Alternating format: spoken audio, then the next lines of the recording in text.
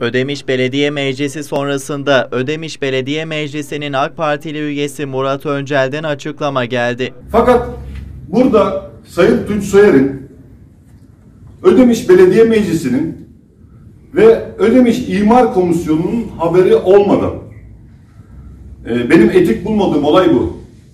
Şöyle bir anlaşma yapıyor firmayla.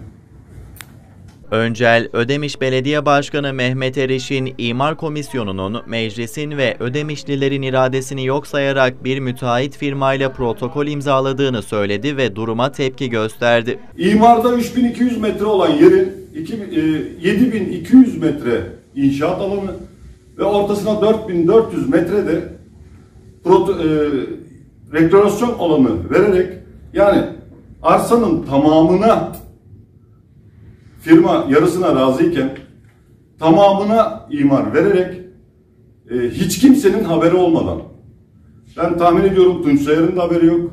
Öncel ayrıca söz konusu alan için alınan ortak kararlara da değindi. Hukuk komisyonu da bunu inceledi. Onların da endişeleri oldu. Ee, ve biz orada şöyle bir ortak fikir birliğine vardık. Bu firmayla oturup e, en azından Ödemiş Belediyesi'nin de borcunun üstüne borç sokmama adına e,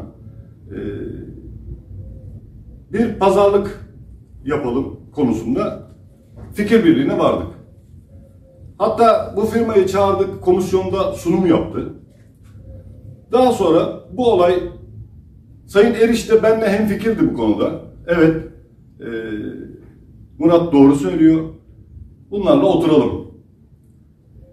Fakat bir baktım birden ani bir şekilde e, İzmir Büyükşehir Belediyesi'nin gündemine girdi.